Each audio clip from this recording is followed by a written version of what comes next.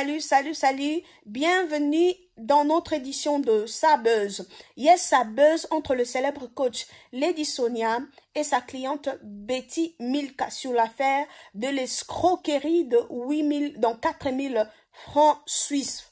En vrai dire, euh, euh, euh, l'affaire n'est pas vraiment l'escroquerie, mais elle est plutôt un cas de loi, de, loi de contrat, le loi d'affaires, le loi de brisement de contrat et de punissement ou de damage de contrat qui a été brisé.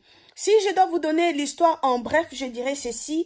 Betty avait contacté l'éditionnaire via mail pour qu'elle puisse intervenir à une de conférences qu'elle organise avec sa fondation Femmes intégrées le 9 mars 2009. Le manager du Lodias, Lady Sonia, a réceptionné le courriel via mail et lui a dit qu'il y a beaucoup de gens qui sont en train de solliciter la date.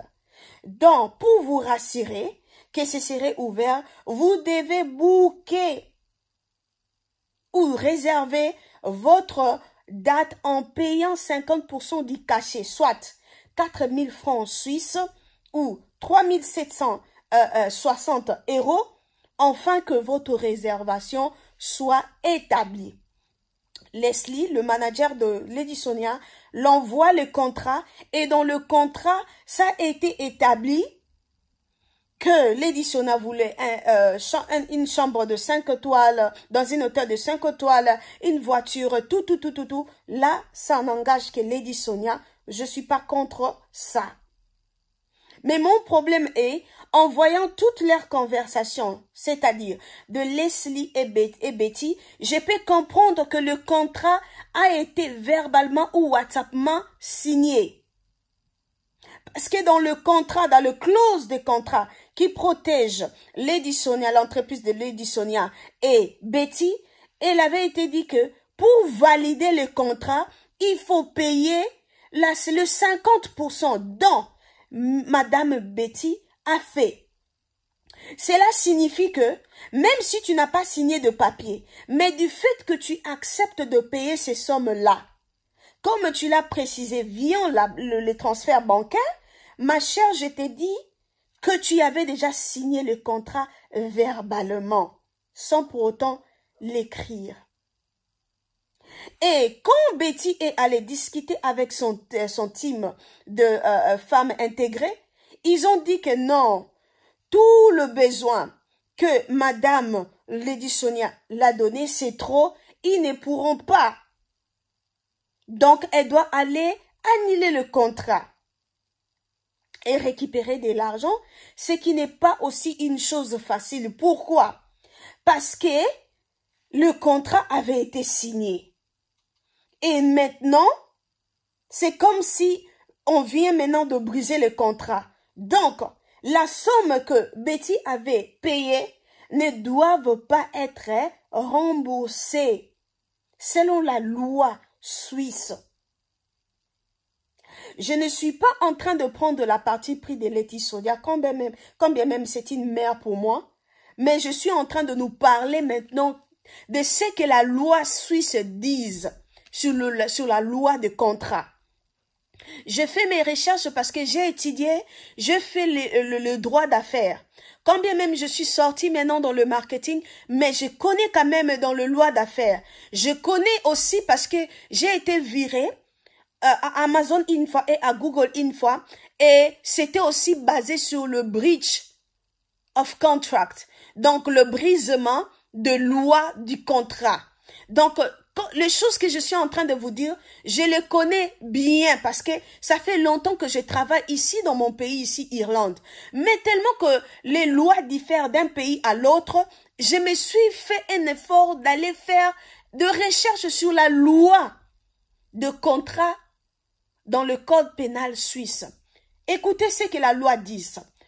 En droit suisse, le principe de la liberté contractuelle est est d'une importance fondamentale. Il découle de la liberté contractuelle que, en principe, chacun est libre d'engager des, négociations contractuelles et le résilier à nouveau sans encourir de responsabilité.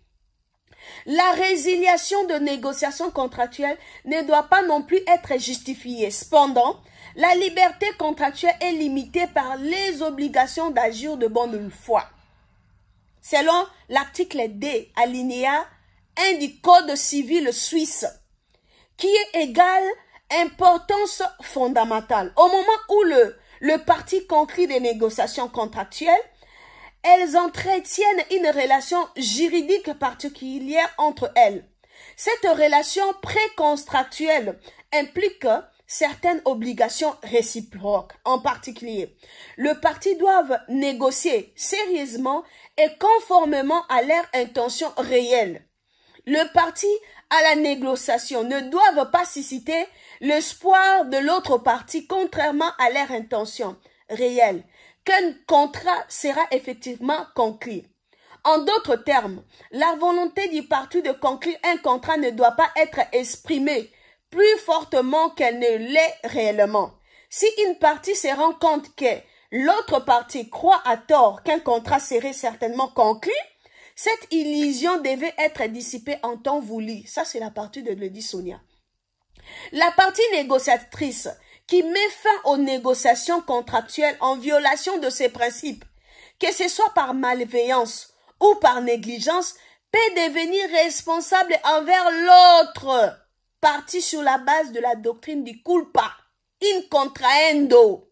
Cependant, une telle responsabilité n'existe que dans de cas exceptionnels. Ça, c'est le parti de Betty. Le fait que les négociations contractuelles aient duré longtemps n'est pas suffisant pour engager une telle responsabilité. La durée de négociation n'est elle-même pas décisive. Il n'est pas possible de déduire la responsabilité des relations contractuelles préexistantes entre le parti à la négociation, comme par exemple dans les cas où le parti négocie une simple prolongation d'un accord existant, le facteur décisif n'est pas de savoir si le parti était déjà lié contractuellement auparavant, mais seulement de savoir si la partie qui a mis fin aux négociations contractuelles a fait croire à l'autre partie d'un nouvel accord serait certainement conclu, ce qui n'est pas le cas pour ce Il n'est pas décisif de savoir si la partie qui met fin aux négociations, c'est-à-dire la partie des Betty, ce que l'autre partie a déjà réalisé des investissements coûtés au vu du futur contrat. Le dit Sodia. En principe, quiconque effectue, effectue plutôt des investissements avant la conclusion effective d'un contrat les fait à ses propres risques. Ça, c'est le cas pour Betty. Même lorsqu'une partie aux négociations contractuelles sait que l'autre partie a déjà effectué des investissements substantiels dans l'accord événementiel, éventuel plutôt, la résiliation des négociations contractuelles ne sera pas en soi considérée comme un acte de mauvaise foi. Betty, tu m'écoutes? Qu'est-ce qu'une responsabilité pour rupture de négociation? Voilà. Ça, c'est la partie des Betty. Je veux que tu puisses entendre mieux. Parce que je sais que ton avocat t'a déjà dit ces choses. Et tu sais que tu es déjà perdante. Pourquoi? tu as couru ces risques. Écoute la loi qui te condamne. Si une partie enfreint les obligations précontractuelles 6 mentionnées, l'autre partie peut avoir droit à une compensation pour les intérêts dits négatifs. Cela signifie que l'autre partie doit être mise dans la position qu'elle aurait été si les négociations n'avaient été lieu. Les dommages peuvent inclure les dépenses liées à la négociation du contrat, c'est-à-dire le 4000 francs suisses, frais de déplacement, frais juridiques, mais aussi une perte de revenus dans les cas où une partie n'a pas pu faire affaire avec des tiers en raison de négociations contractuelles. Mais l'autre partie n'a pas le droit d'être traitée comme si le contrat avait été conclu, soi-disant intérêt positif. Ça, c'est les bienfaits pour Betty. Il faut garder à l'esprit que les exigences fixées dans le tribunal suisse pour la justification des dommages d'intérêt sont assez élevées, de sorte que la mise en application d'une responsabilité pour rupture des négociations serait souvent un processus lourd. Par conséquent, la poursuite des demandes d'indemnisation avec des montants en litige relativement faible peut souvent exiger un effort dispro, disproportionné. Conseil pratique à faire et à ne pas faire lors de la négociation d'un contrat. Betty, il ne voulait pas exagérer votre volonté de conclure un client. De conclure un contrat avec ton, non, ton, ton, ton, Bon, la cliente, je ne sais pas si qui est la cliente ici. Je ne sais pas si l'éditionnaire, il vous voit. Bon, ça va. Vous êtes le client de l'un et l'autre. Il fallait que tu sois franc avec tes contreparties indiquées. Clairement dès le début des négociations. Pour savoir quelles sont les le clauses qui sont importantes pour vous. Il ne fallait pas dire à Leslie, le manager de LSM, que vous êtes prêt à signer un contrat si vous avez encore des doutes ou si vous n'êtes même pas disposé à les faire.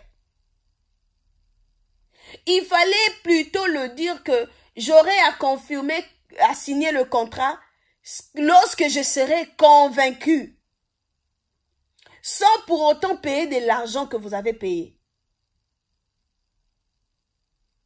Il fallait pas permettre à quelqu'un d'autre, c'est-à-dire le manager de, négocier avec vous au nom de Lady Sonia. Parce que la personne qui va venir dans ton événement, c'est Lady Sonia. Donc, pour atteindre le niveau de signer le contrat, tu devais d'abord avoir un entretien personnel, comme on dit en anglais, one-on-one avec Lady Sonia. Et puis, elle pouvait dire, OK, elle va maintenant avec Leslie pour en finir avec le contrat. Ça, c'est l'erreur que tu as fait. Tu ne pourrais pas faire d'investissement coûté avant la conclusion d'un accord juridiquement contraignant. Si pour des raisons de temps ou d'autres, de tels investissements sont nécessaires déjà avant la conclusion d'un accord, insister sur la conclusion d'un contrat intériminaire régissant ces investissements pour le cas où l'accord envisagé ne serait pas définitivement, conclu. Ce que Betty n'a pas fait. Selon moi, Betty a violé le, le loi de contrat, elle a brisé le contrat et aussi elle est en train de subir le damage et le la punition de brisement de contrat qu'elle a signé verbalement ou WhatsAppement avec le manager de Lady Sonia. Betty n'était pas sage et je pourrais dire elle n'était pas professionnelle. Quand bien même tu peux parler une très bonne français que moi, mais laisse-moi te dire, tu ne maîtrises pas très bien la loi éventuelle. Parce que tu ne peux pas aller signer quelque chose et venir réclamer ton argent comme si on t'a escroqué. Ma chérie, je vais te dire bien, on t'a pas escroqué. Parce que j'ai eu à suivre ton intervention avec Tatapo, avec Ibrahim, et aussi j'ai suivi l'intervention du manager de Lady Sonia, je peux comprendre que certaines personnes ne maîtrisent pas vraiment le professionnalisme qu'ils prônent. Betty, tu as accepté le contrat verbalement sans pour autant signer un papier en versant le 50% du cachet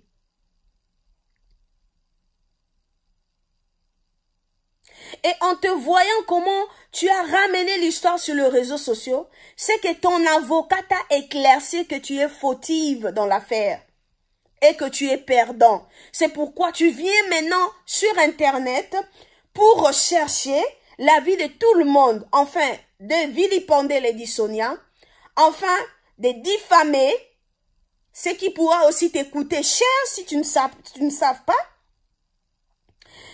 Dans l'affaire ou l'intervention entre toi et Tatapo, je peux dire que Tatapo, tu as bien fait d'aider une personne qui ne se connaît pas d'être entendue. Parce que si tu n'avais pas fait l'interview avec elle, on ne pouvait pas comprendre la version de Betty.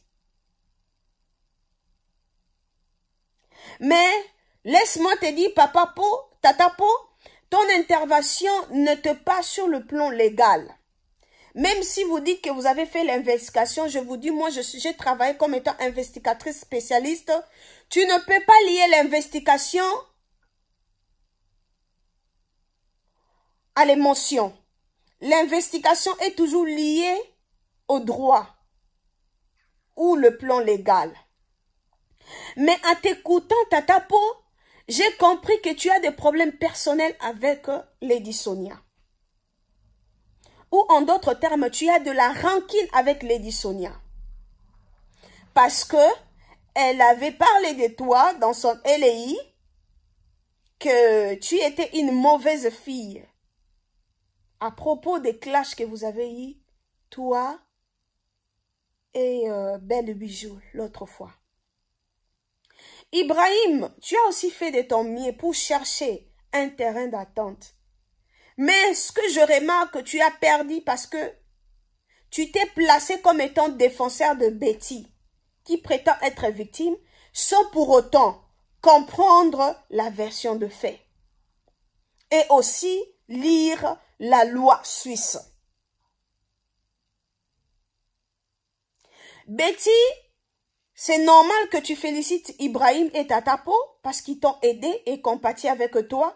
Mais je te dirais la vérité que tu es fautive. Mais j'aimerais pas agir comme les deux autres parce que l'affaire est inclue dans le loi. Il y a maintenant la diffamation de caractère qui en fait partie. Et si nous ne sommes pas sages, on risquerait d'empirer l'affaire. Lady Sonia et Leslie, je vous dirais Yako car ce sont des anomalies de la professionnalisme. Seulement que ces choses ne sont pas vraiment maîtrisées au milieu africain.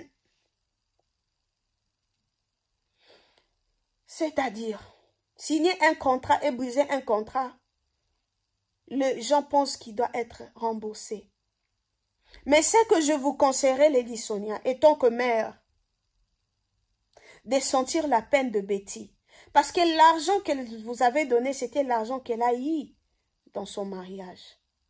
Et selon ses dires, elle a dit que ça a créé des problèmes dans son mariage.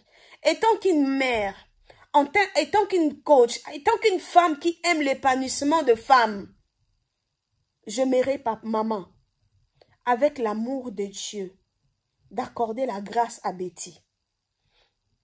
Si par exemple tu n'aimerais pas de le faire toi-même, moi, je m'engage. Tu peux me contacter. Mon numéro, c'est 00353 89 94 43 480. Ou bien je vais le mettre dans la description. Moi, je ferai cette entente entre vous deux parce que je ne veux pas que Tatapo et Ibrahim puissent dire que parce qu'on a parlé, c'est pourquoi elle a retourné. Non. Mais je veux que je sois naître. Je ne suis pas contre Tatapo et contre Ibrahim, ni pour vous, mais je suis réaliste. Parce que ma chaîne, c'est Chemin TV. Donc, je vais juste montrer la voie par rapport à la connaissance que j'ai du droit. Si vous pouvez rembourser, même pas en totalité, mais un peu d'argent à cette dame, ça sera bien. Et de faire la paix. Parce que en tout, elle ne perd rien parce qu'elle n'est pas connue. C'est vous qui perdez votre crédibilité, votre réputation. Et tous ces gens-là qui conquis sans pour autant analyser et puis chercher le loi qui vous supporte, ils vous colleront de tout sauf de rien. Moi, je vous conseille, je, je sais que je ne suis pas digne de vous conseiller. Mais comme on dit en lingala, mon babinaka.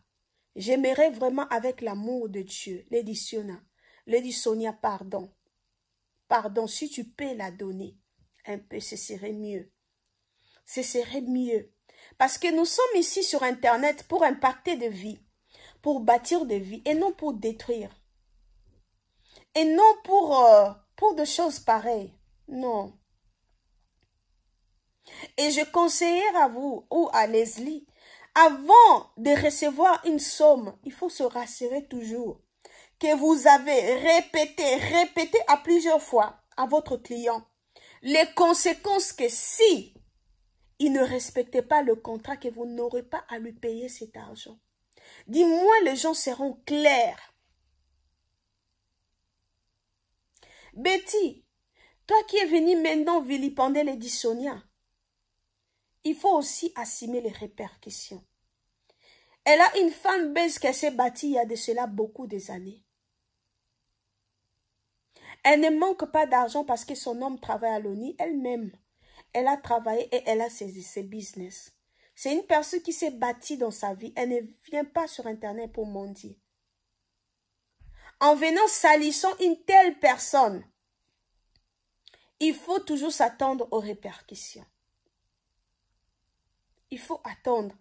La majorité ne sera pas d'accord avec vous. Parce que il sait ce que Lady Sonia a fait pour eux et ils ne savent pas ce que vous vous faites. Combien même vous dites que vous aidez les femmes à s'intégrer, c'était dans l'anonymat. Mais elle, elle est dans le public. Respectez quand même cette mère qui a souffert, qui a fait aujourd'hui que beaucoup de coachs, je connais beaucoup de coachs sur Internet, qui a fait que beaucoup de gens soient libres de se tenir devant un caméra et parler. Respectez-la. Je veux la paix, que la paix règne entre le youtubeur, entre le coach, entre les clients. Ibrahim Tatapo, sachez-le qu'un jour de telles choses peuvent vous arriver parce que tu, vends de chevet, tu, tu vends beaucoup de choses, des cols de chevet. Ibrahim, je pense aussi tu fais la publicité pour d'autres personnes. Ce qui est arrivé à Lady Sonia, ça peut aussi t'arriver. Donc, euh, à un moment dans la vie, il ne faut pas être sentimentaliste pour avoir de vie. Non, il faut être réaliste. Parce que si on fait ça à Lady Sonia, un jour on pourra aussi te faire ça. J'ai appris dans ma vie de ne pas s'aimer ce que je n'aimerais pas récolter. Je veux que la paix règne entre Tatapo et Lady Sonia. Que la paix règne entre Ibrahim et Lady Sonia. Que la paix règne entre Betty et Lady Sonia. Ici, on a besoin d'aider notre sœur qui fait son charité. Elle n'a pas vraiment beaucoup de sponsors, elle n'a pas beaucoup d'argent. Lady Sonia, si tu peux avoir pitié d'elle et la rembourser de l'argent, ce serait bien. Mais à condition, il faut que ça soit dans le vidéo pour vous laver et aussi laver la dame. Donc c'est un peu ça. Mais Betty, sache-le, si tu vas, tu vas à, comment on appelle ça, euh, au tribunal, tu vas perdre. Tu vas perdre. Parce que, un, tu auras accusé de brisement de loi d'affaires et les dommages. Tu auras à lui payer encore beaucoup de litiges, des amendes, parce que tu aurais à la mener à côte. Et tu auras à faire quoi? À payer encore plus de 10 000 euros pour la diffamation de caractère. Parce que même si Tatapo et d'autres personnes n'ont pas fait mention au nom de Lady Sonia, mais on connaît tous que c'est Lady Sonia dont elle parle. Parce que vous avez mis dans votre thumbnail la photo de Lady Sonia. Donc, euh, il faut quand nous sommes en train de faire ces choses ici, il faut qu'on se rende compte aussi du droit. Yeah. Donc, euh, c'était moi. Si vous avez aimé cette analyse, n'hésitez pas à vous abonner dans ma chaîne. Je suis en train de me préparer. Je vais commencer à faire des vidéos. Donc, abonnez-vous et invitez déjà à vous abonner. Partagez dans de différents groupes pour avoir beaucoup, beaucoup, beaucoup, beaucoup des abonnés. Je vais atteindre au moins, avant la fin de cette année, je vais atteindre 100 000 abonnés. Et je crois dans votre support, dans votre aide, vous allez m'aider. Pourquoi? Parce que je vais amener une autre révolution dans le milieu YouTuber. Je ne suis pas meilleur qu'eux. Ils ont fait plus que moi. Ils ont agi. Ils ont fait des choses que moi, je ne pourrais pas faire. Mais je vais juste apporter le peu que moi je sais. Je sais. Donc, je vais mettre après euh, l'analyse ou bien peut-être l'intervention de Leslie pour que nous puissions tous le voir. Je ne pourrais pas mettre de Ibrahim euh, et des Tatapo parce que c'est des vidéos trop longues. Je ne veux pas avoir beaucoup de temps pour faire les editing. Donc, je mets juste ce, que, euh, ce qui est important pour vous, afin que vous puissiez comprendre. À l'Africain, je conseillerais de ne pas être prompt à juger, à insulter, sous-estimer les gens sans pour autant entendre le décoté. Et quand vous entendez le décoté, ne vous penchez pas directement en disant que non, celle-ci a déjà raison, donc je, je prends son, son coin. Non, non, on ne fait pas ça. Vraiment, je vous aime beaucoup. Bisous.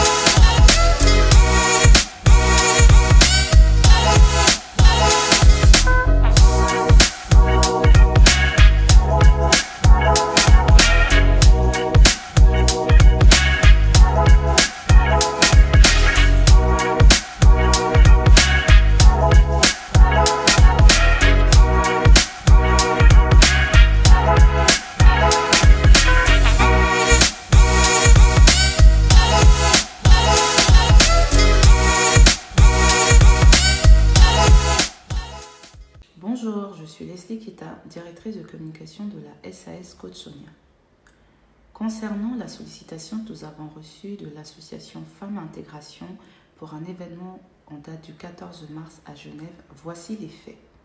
Nous avons d'abord reçu la sollicitation par mail, puis ensuite en date du 14 octobre, je vais avoir à échanger par écrit avec la présidente de l'association qui me confirme son souhait d'avoir Lady Sonia en tant qu'oratrice lors de leur événement. Je prends le soin, comme vous pouviez voir dans tous nos échanges, de lui donner, dans un premier temps, lui demander de plus amples informations sur son événement. Chose qu'elle va faire, m'envoyer les éléments complémentaires. Je lui réponds en lui disant voici donc les contreparties. Je l'informe du cachet et de toute la prise en charge. Vu que c'est une société, nous avons une manière de fonctionner, nous avons toute une équipe qui doit être déplacée, nous avons plusieurs choses que nous devons mettre en place. Voici donc comment on va donc prendre soin de lui expliciter qu'est-ce que cela va nécessiter de son côté en matière de prise en charge. D'accord? Madame reçoit tous les éléments. Ensuite, elle me demande, comme vous pouviez voir dans nos échanges, de pouvoir échanger avec moi de vive voix, certainement pour que les informations soient plus claires. Chose que j'accepte, je vais donc avoir la présidente de l'association au téléphone pour un échange directement téléphonique. Après ce dernier, durant lequel j'ai pris le soin de lui expliquer les choses, elle me revient on date du 18 octobre pour me dire qu'effectivement, ils ont pris le soin avec son équipe de, de, repenser toutes les informations communiquées et donc ils souhaiteraient avoir la conférencière. Elle a donc explicité un prix auquel elle souhaiterait avoir la conférencière. Et dans son échange, à la fin, comme vous pouvez le voir, elle me dit carrément si ce dernier, si cette proposition nous convient, de lui adresser le RIB afin qu'elle puisse directement verser la compte. Quand j'ai madame au téléphone lors de notre échange, je l'informe que normalement, comme elle le sait et qu'on avait communiqué sur nos réseaux, c'était prévu que l'événement de Lady Sonia en France se passe au mois de mars. D'accord? La date, c'était pour le 12 mars exactement. Mais comme elle a son événement le 14, je vais donc décaler notre événement en date du 31 mars pour pouvoir honorer sa sollicitation à elle. D'accord? Et à la même date du 14 mars qu'elle souhaitait, on avait déjà reçu une sollicitation. Elle me demande de lui bloquer la date. Je l'informe que pour bloquer la date en agenda, il, me faut, il faudra que la compte puisse être versée. Comme ça, là, je sais qu'effectivement, on a déjà un accord. Je ne peux pas m'engager autrement. Chose que madame va faire. Comme elle a acté, demandant le RIB, elle-même qui demande le RIB, je le lui envoie. C'est ainsi qu'elle procède au versement de la compte sur le compte.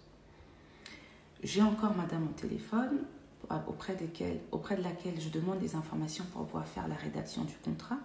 Madame va prendre soin de lire ce contrat. C'est un contrat, n'est-ce pas? Ce dernier est censé protéger les deux parties. Donc avant que je puisse signer au nom de la SAS et avant que Madame puisse signer en tant que présidente de l'association, en tant que co-contractant, il faut bien qu'elle puisse avoir les informations et surtout qu'elle soit d'accord avant qu'on signe ce dernier.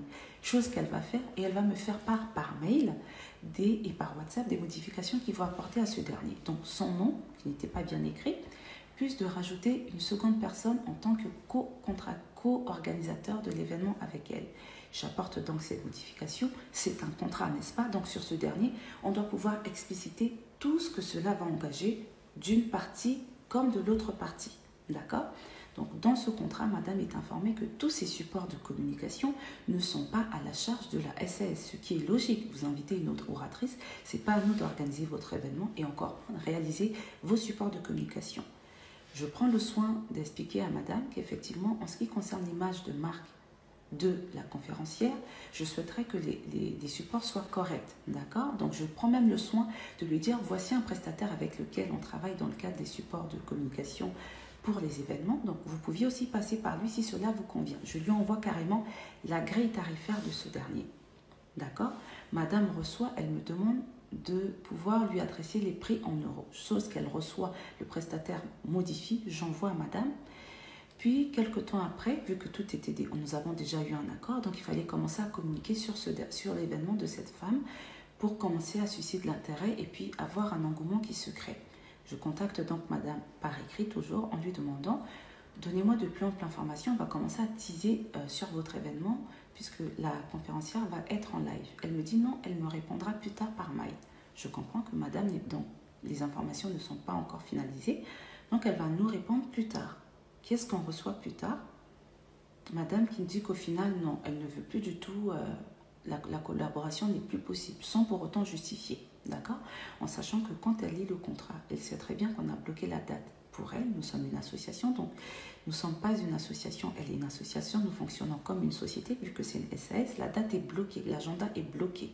D'accord? Nous avons tout décalé pour elle. Et que, que nous dit notre entente? Que s'il s'avère que c'est Lydie Sonia qui n'honore pas au nom de la SAS ses engagements, ça sera à nous de pouvoir euh, prendre en charge toutes les, les, préjudices que nous aurons causés puisque madame aurait communiqué en amont sur cet événement. D'accord? Il s'avère que de notre côté, nous ne sommes pas rétractés. Madame se, rétracte sans raison valable. En tout cas, dans le courrier adressé, il n'y a pas. Quelque temps après, on reçoit un courrier euh, d'un un autre personnage public qui nous dit que madame l'a saisi pour l'affaire, n'ayant pas les informations, elle revient vers nous pour qu'on puisse trouver un accord à l'amiable par rapport à cette dame. C'est moi qui prends le soin de répondre à la dame en lui disant oui, effectivement, je pense qu'on aurait pu avoir un échange à l'amiable, mais là c'est parti trop loin jusqu'à aller carrément vous contacter alors que nous ne sommes pas en tort. Et je prends le soin de vous préciser, j'ai eu cette femme euh, la présidente de l'association, on a toujours échangé par mail, nos, échanges étaient cordiaux. En aucun cas, elle m'aurait appelé pour m'expliquer une situation quelconque et on ne l'aurait pas écouté. D'accord?